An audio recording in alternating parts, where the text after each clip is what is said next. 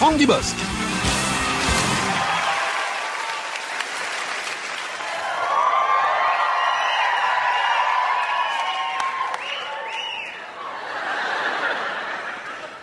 Je vais vous dire un truc.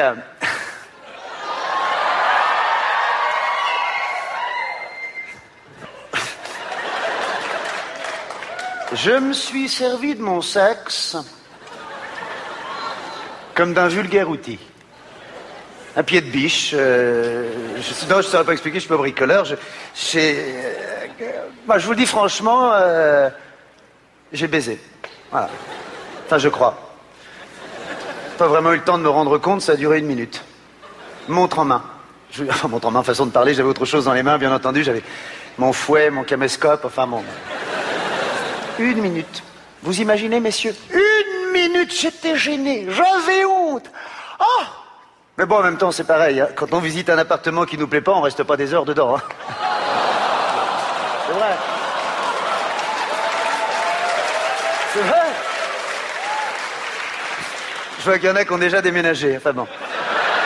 C'est vrai, on jette un coup d'œil, on ressort, quoi. Non, parce qu'il faut vous avouer que c'était pas vraiment euh, une mannequin, hein. euh. Non, attention, non. Je vais un peu loin, elle était pas moche. Non, non, non, non, non, non, non, euh, elle était pas moche. euh, était drôle, euh, sympathique, intelligente, euh, bourrée d'humour. euh. Non, elle était moche. Elle s'appelait Sandy. Une américaine, typique. 200 kilos. Enfin, là-bas, ils disent 350 livres. Waouh Belle bibliothèque. En fait, pour tout vous expliquer, on s'est rencontrés dans un séminaire anti-stress dans le sud de la France. Waouh Il y avait plein de jolies filles. Waouh Et Sandy. Sandy Crawford, elle s'appelait. Non, je vous jure. Sandy Crawford. Vous savez, je me suis dit, c'est incroyable parce qu'il y a des fois, on a l'impression que, que la nature s'acharne. C'est vrai, on a l'impression qu'elle choisit quelqu'un comme ça, là, et qu'elle se dit, toi, tu vas en chier. En fait, on s'est rencontrés le premier jour pour une balade en canoë. Alors oui, une balade en tracteur, ça n'aurait pas posé de problème. Alors, si vous voulez, ils ont tiré les équipes au sort et moi, je suis tombé sur Sandy. Mais au début, je ne savais pas qui c'était. Moi, on me dit, Franck, tu partages ton canoë avec Sandy. Hey, on est que tous les deux Ah oui. Pas plus de 200 kilos par canoë. Et là, Sandy est arrivée. D'accord, ok, j'ai compris. Euh, ben bonjour, je, ben je m'appelle Franck. Je t'embrasse quand même.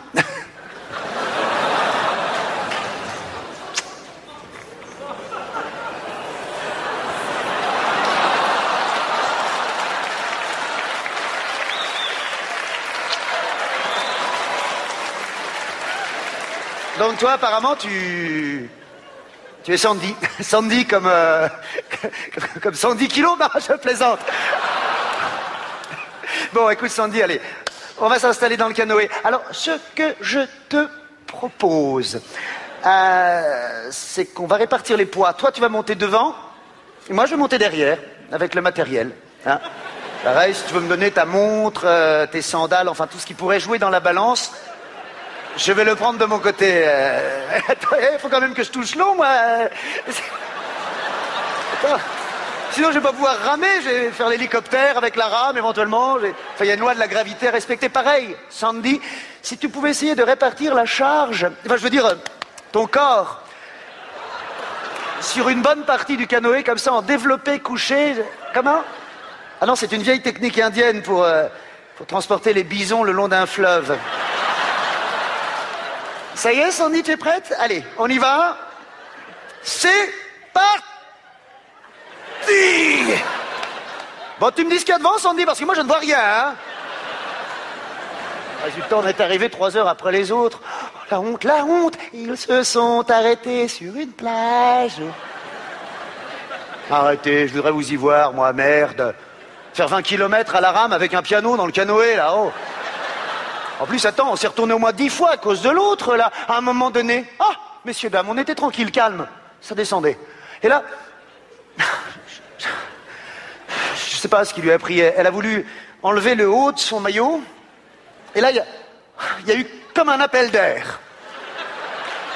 Elle a basculé par-dessus bord, elle est tombée au fond comme une pierre. Et là, je ne saurais pas expliquer ce qui s'est passé, mais tout s'est arrêté. Le vent, les oiseaux, plus rien, plus un bruit, comme si, comme si la nature réfléchissait. Comme si la nature me disait Attends, je réfléchis si je la remonte. Au bout d'un moment, la nature ne prenant pas de décision, j'ai plongé. 45 mètres de profondeur, sans tuba, à capella, messieurs, dames. Alors j'ai plongé comme ça. Ah, c'est la partie de mime que je préfère du sketch. Bah, il est bien évident que je ne peux pas utiliser les deux jambes, sinon je me casse la gueule. Hein. Mais on comprend bien que je suis en train de nager, hein. on voit bien que je suis pas en train de creuser un trou non plus, c'est ridicule.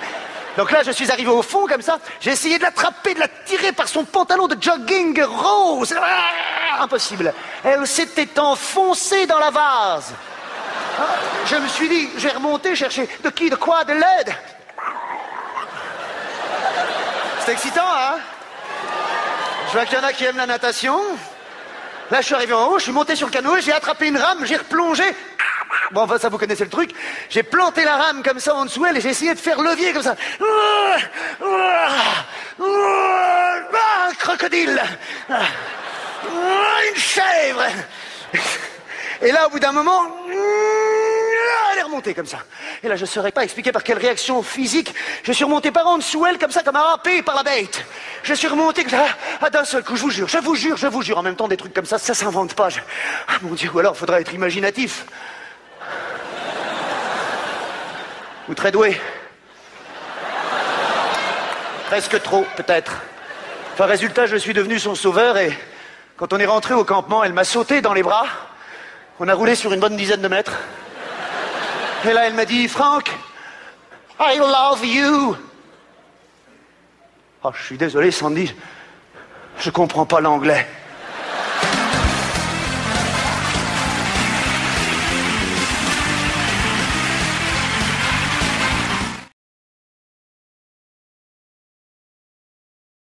Je pense, je pense avoir compris pourquoi Véronique était partie. Je crois tout simplement que, mais que je l'impressionnais. Oui, bien sûr, physiquement, ça c'est évident. Évitons les banalités. Non, je crois surtout, je crois surtout que je l'impressionnais dans ma façon de vivre. Ah, je me souviens de cette fois où j'ai posé un Boeing 747 en pleine pampa. Ah non, je l'entends encore, je vous jure. Non, c'est pas vrai Comme tu peux être naïf, Véronique. Enfin, je veux dire, il n'y a rien d'extraordinaire à poser un Boeing 747 en pleine pampa entre Caracas et Puerto Rico. J'allais au Maroc. Donc là, j'étais euh, tranquille dans les toilettes, je faisais l'amour avec une hôtesse. quoi, vous prenez jamais l'avion, quoi? Et là, tout à coup, paf Une secousse. Ni une ni deux. Je cours à la cabine de pilotage. Et là, j'aperçois le capitaine écroulé dans les bras du sous-pilote, lui-même complètement groggy. Tout de suite, je leur dis surtout, ne vous inquiétez pas. Je suis comédien. Alors là, si la panique t'envahit, t'es foutu. Non, parce qu'un bateau qui coule, ça va. Tu peux toujours nager. Mais un avion qui s'écrase, tu vas pas t'envoler. Hein. Ah, ça, la nature est stricte là-dessus. Un homme en l'air, il tombe. Ah, moi, j'invente rien, il y a un mec qui l'a démontré avec une pomme. C'est la loi de la gravité. Je veux dire, on est peu de choses. Un homme à 2000 mètres d'altitude, s'il n'a pas de parachute, c'est une pomme. Et là, dans mon Boeing, j'ai tout de suite vu la compote. 350 pommes dans le même panier, dis donc. Oh, si c'est que j'ai pris les commandes du Boeing. Pousse-toi, capitaine. Oui, allô, Fox, bravo, ici Tango Charlie, 2-0, car sud-est, vent de tribord, 0 en visuel à 2 heures. Non, je déconne, j'y connais rien. non, j'y suis allé pudique. Allô, il y a quelqu'un? Oui, bonjour, voilà. Euh, je m'appelle euh, Franck Dubosc. Voilà, c'est dit. Et c'est moi qui conduis l'avion. Comment? Non, je ne plaisante pas. Non, non, c'est moi qui tiens le, le volant. Ou le guidon d'ailleurs, je ne sais pas comment vous dites. Oui, c'est la première fois, monsieur. Et je suis fier que ce soit sur votre compagnie. Je crois qu'on va faire du bon boulot. Pardon? Ma position Ah taux de pressurisation Non, attends, là, il m'énervait, le mec. Il n'arrivait pas à comprendre que j'avais jamais conduit un avion. Je suis désolé, ça peut quand même arriver, mince. Ah, je me suis dit, tant pis, je vais le poser tout seul, j'ai coupé le truc. Et là, ils sont cons, les mecs, parce que mes 350 pommes, c'est pas de la compote que je risque d'en faire. C'est du cidre. Alors j'ai pris le micro et j'ai prévenu mes passagers. Bonjour, mesdames et messieurs, ici Franck Dubosc qui vous parle. Aux commandes de ce Boeing 747 à destination de... euh, bah, de la Terre, déjà, ce sera pas mal, on va... Alors je vais vous demander d'accrocher vos ceintures parce que je vais descendre un petit peu pour voir où on est. rock and roll Uh, ladies and gentlemen, yesterday all my troubles seemed so far away. Oh, I believed in yesterday. And good luck. Donc là, je me suis saisi des commandes et j'ai amorcé une descente pour voir quelque chose. Hop, hop, hop, hop, je remonte, un petit coup d'œil sur l'autre côté. Hop, là que je l'ai bien en main. J'ai fait un looping, deux loopings pour la rigolade. Là, j'ai écrit Franck dans le ciel avec la fumée du moteur qui avait explosé. Après, j'ai volé 300 mètres sur le côté, genre euh, Top Gun, là. Puis après, j'ai vomi. Et là, je me suis dit, euh, bon, faut atterrir, alors je suis allé voir mes passagers. Bonjour, messieurs, dames. Je vois qu'il y en a qui n'ont pas supporté les loopings, dis donc. On va, redistribuer des petits sacs en papier pour l'atterrissage, là, parce que je suis pas sûr que ça se passe tout seul, tout seul. Et là, j'ai j'ai senti dans leurs yeux comme, comme une lueur d'inquiétude. Alors, je les ai regardés comme ça. Et je leur ai dit, un jour, un homme a dit, te fous pas de ma gueule. Partir, c'est mourir un peu. Eh bien, disons que quand la mort vous tend les bras, il faut savoir... Oh, pardon, excuse-moi. Il faut savoir lui dire, bonjour, je t'attendais et tu ne me fais pas peur. Bah Je plaisante. Ah bah, elle est morte. Et si certains d'entre vous s'en sortent, toi peut-être, ou toi, ou... Non, pas toi. Je suis désolé, tout le monde ne va pas s'en sortir. J'espère qu'un jour ils pourront dire j'y étais. Enfin, je vous dis ça, normalement, ça se passera sans problème. hein. En revanche, je vais vous demander de relever vos sièges et de redresser vos tablettes. Il paraît que ça fait moins mal quand on s'écrase. Voilà. Donc là, je suis retourné au poste de pilotage et j'ai prévenu la tour de contrôle. Écoutez-moi bien, vous qui m'écoutez. Je ne sais pas qui vous êtes. Tout ce que je sais, c'est que j'ai avec moi 350 pommes. Que je suis bien décidé à poser sur notre bonne vieille terre.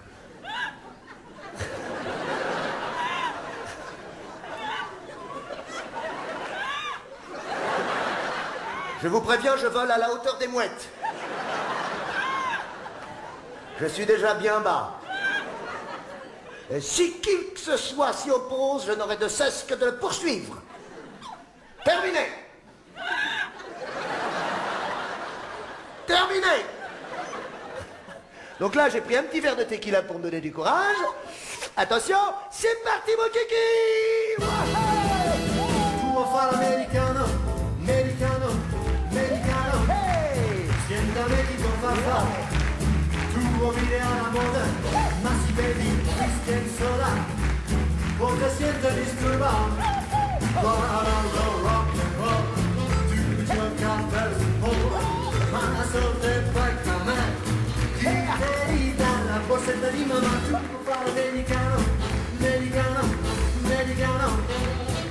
Immaginate in Italia, siéntame, non c'è sta niente a fa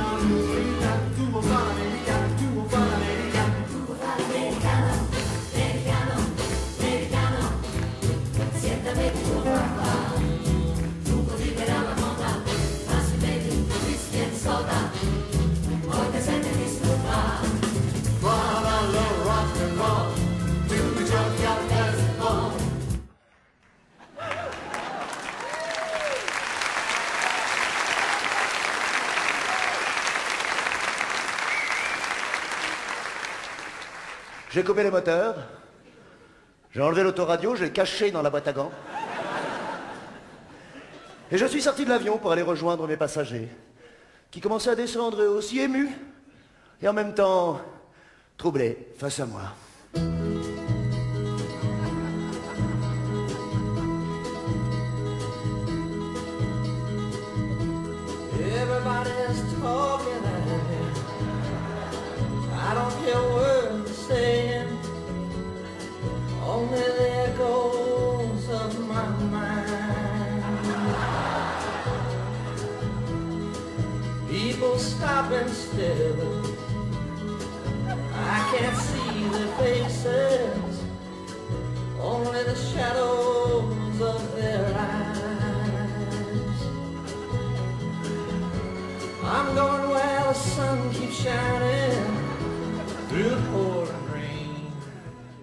Et c'est marrant parce que qu'est-ce que j'ai fait? J'ai poussé deux manettes, j'ai plané sur 30 nautiques, j'ai sorti le train de secours sans hydraulique en inversant les variateurs.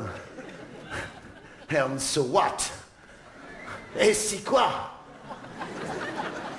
C'est marrant comme les gens ont besoin de se fabriquer des leaders, des chamans comme on dit chez moi. Maintenant là-bas on m'appelle l'homme qui parle avec les oiseaux.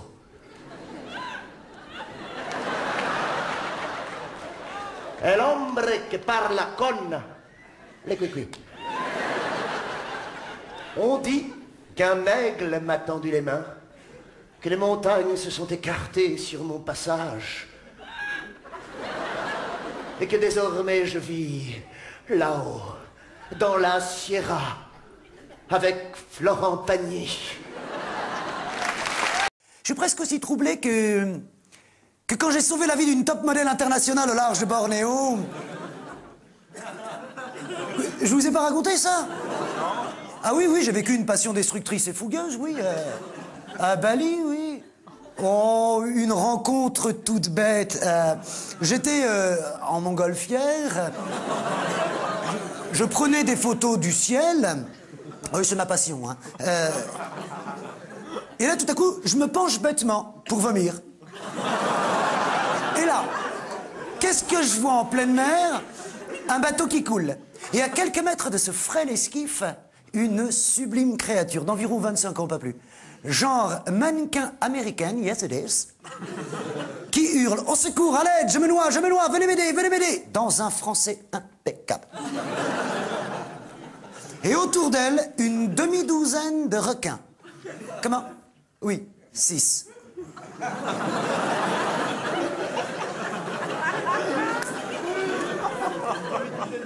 Bon.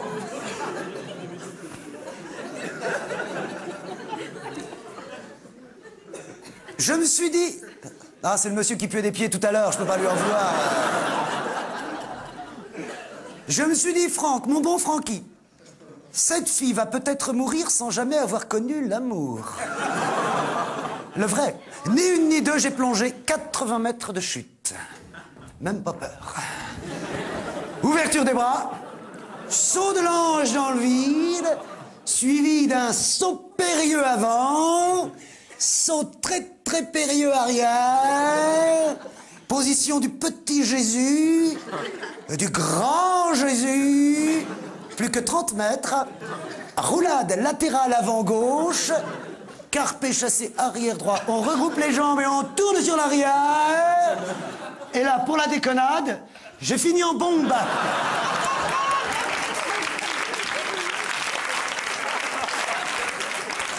Je me, je me suis niqué la cuisse. Au nom de l'humour. Ah, je suis foufou. Ah. Bon, bah, la fille, elle, bon, bah, forcément, elle, elle a applaudi, tu parles. Oh, réflexe, réflexe.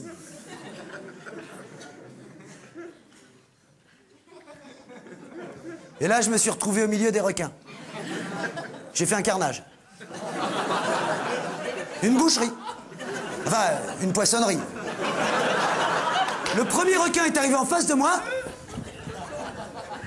Je l'ai attrapé par le cou comme ça pour l'égorger. Hop Rupture d'anévrisme. Là, il y en a un qui est arrivé sur le côté, je lui ai mis les doigts dans le nez comme ça. J'ai commencé à le faire tourner pour l'étourdir. Et hop, à dégager. Là, j'en ai un autre qui est arrivé sur le côté. Oh Je lui ai fait peur. Et là, il y en a, il y en a deux qui sont arrivés par en dessous comme ça et j'ai commencé à leur donner des coups de poing dans la tête comme ça. C'est pas facile, hein Bah oui, euh, bah, euh, pour pas couler, en fait, j'étais obligé de nager que avec euh, les jambes, hein. C'est pas évident. En plus, ça les attire, hein. C'est pas facile, hein Et là, ça perd les papettes. Il y en a un qui arrive derrière moi par surprise, qui croit que je l'ai pas vu. Hop là, il pense à gay. Un coup de poing dans les testicules. Bon, c'est sûr, il faut connaître l'anatomie des requins. Hein.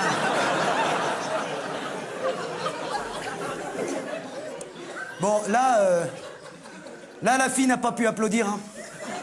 Non, elle, s'était fait manger les mains, la pauvre. Non, non, non, je conne. non. Je plaisante. euh, non. non, elle a applaudi, bien entendu.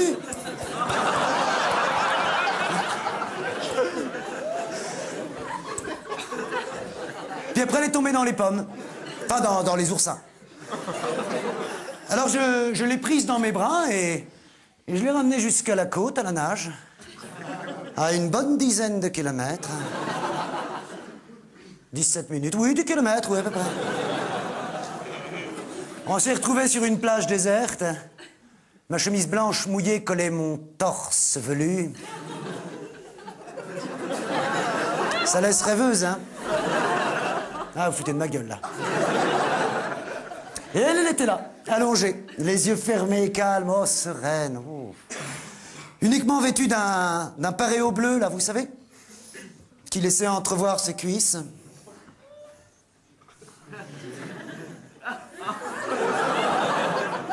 Il y a une partie de ses fesses. Très joli petit cul d'ailleurs. Vous savez, ce, ce genre de, de petites fesses là, qui, vous rappelle que des milliers d'enfants meurent de faim dans le monde. Et que sur le moment, tu t'en fous complètement. Alors là, tout à coup, elle s'est réveillée, elle m'a regardé, elle m'a dit Oh, who are you? Oh, I'm Frank Dubosc. I'm a very good actor, you know. Donc j'ai attrapé par les mains, enfin par euh, les moignons. Et là, on, est parti pour rejoindre euh, la civilisation. Et alors, euh, le soir, euh, quand on est enfin arrivé en bas de mon hôtel, je savais pas comment lui dire que si elle voulait, elle pouvait monter dans ma chambre pour prendre un dernier verre. To take a last drink. To drink, drink, drinking. Look, David, what's this? It's a cat. A what? A cat. Now repeat after me. Lesson one, part two. Thank you. Éventuellement, euh, croquer la pomme. To eat the. The golden. En fait, de toute façon, c'est elle qui a fait le premier pas. Euh, Elle m'a dit, euh, You know, Frankie? Yes, I hear to you, madame. What's the crime and what's the punishment? The answer seems to vary from place to place and from time to time. What's legal today all of a sudden gets illegal tomorrow because society says it. So I'm not saying this is right or wrong, this is the way things are, but I spent and a half years of my life in your jail, nothing compared for my error. Oh là, tu me prends un peu dépourvu, là. euh, euh, Now repeat after me. euh, euh, yes, okay. Oh, si tu penses que c'est mieux, je m'en vais. Oh, no, no, not understand. Ah, no, you not go. No, no, you want me like, uh, like fucking. Uh, not fucking is a good word, exactly. Uh, no, just a little bit. Uh, no, no, no, no, no, no. Mais bien. Bon, bon, ok, d'accord. Bon, bah, à demain, alors. Enfin, à, à- à deux...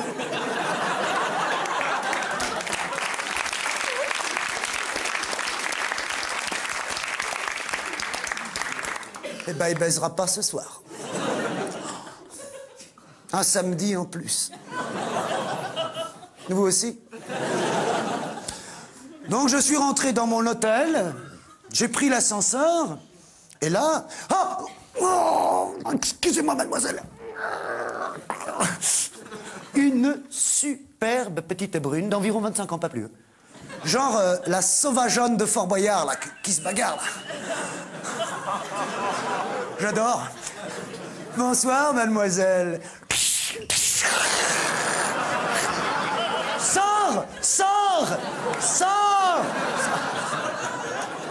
Je plaisante.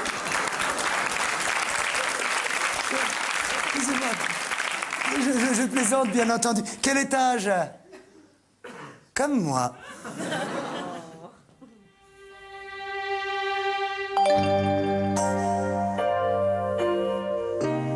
Deux étrangers qui se rencontrent dans l'ascenseur déjà le désir monte.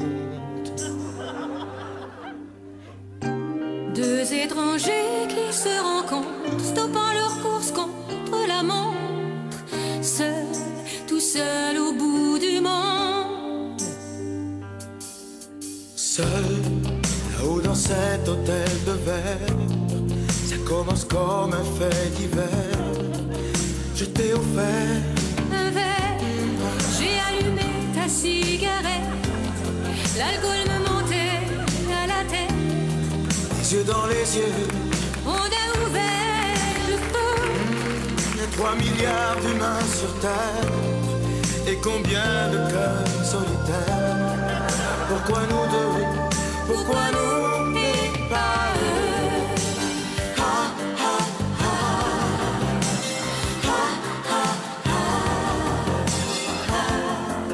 C'est une question de feeling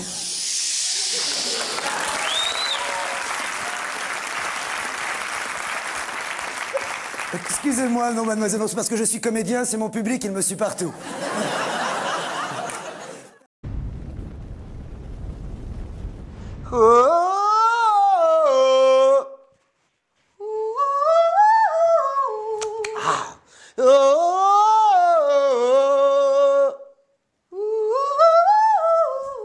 Ouf, c'est tu truc.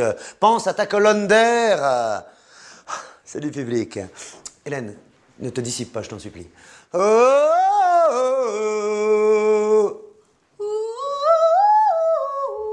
Écoute, c'est mauvais, arrête. Euh, je te dis à la semaine prochaine, euh, mais je te demande une chose, Hélène, surtout. Travail. Travail. Work is the secret. Chut.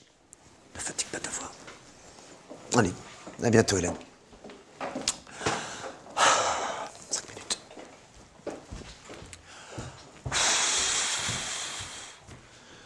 Je suis crevé, crevé. Dis-moi, public, tu te souviens du, du ringard, barbecue et compagnie, mais est-ce que tu connais son frère, le kéké des plages, si Sex and Tongue Eh bien, enfile ton maillot. Pour toi, je vais redevenir kéké. Jenny est arrivée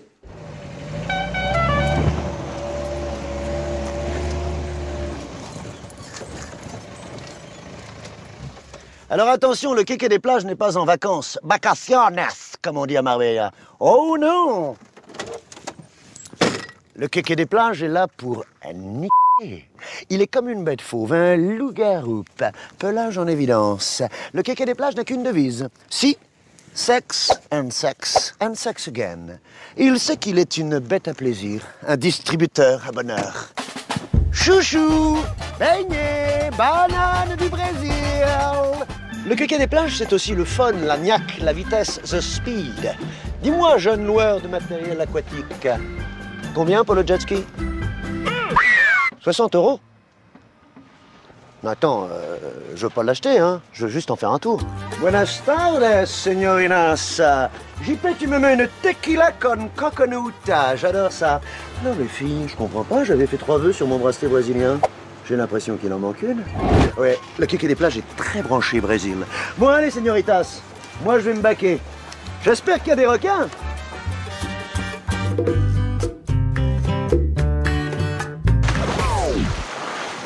Wow Elle est super chaude Je vais l'appeler Cristal. Souvenir. Ouais, le kéké des plages est nostalgique. Le kéké des plages sait qu'un léger hal est le secret de son succès. Sait jamais. Le kéké des plages connaît d'autres kékés des plages. Hey, salut José Tu vas bien? Dis-moi, il y a soirée mousse au Macumba, amène ta vaisselle, ça va frotter. Ouais Winner Winner Le kéké est un winner. Quoi, Ticia J'ai une crotte? Non, dites-moi, les gars. Bonjour, les filles Alors, on se retrouve sur le Minitel? Oui, le kéké a 20 ans de retard. 3615, code ficelle Bang Trop tard, la flèche est partie. Plantée sur la porte du Macumba. Open bar pour les filles, slow à volonté, bec bisou et cocktail de fruits rouges. Oui, le kéké est très kéké. Je suis à Saint-Barth, à l'île Maurice, là. Ah, je te jure, c'est bourré de meufs. Je m'éclate. Véridique, j'ai donné jusqu'à 6 du, là. Ah, c'est méga fun. Et toi, t'es où? Oh Ah, Allez, je te rappelle, j'ai mon cours de pédalo.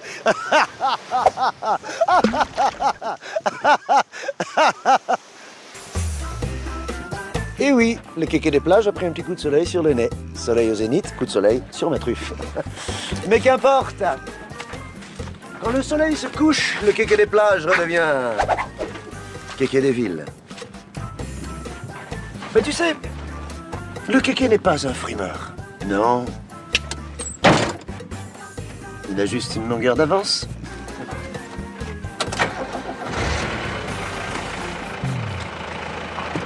Hasta la vista,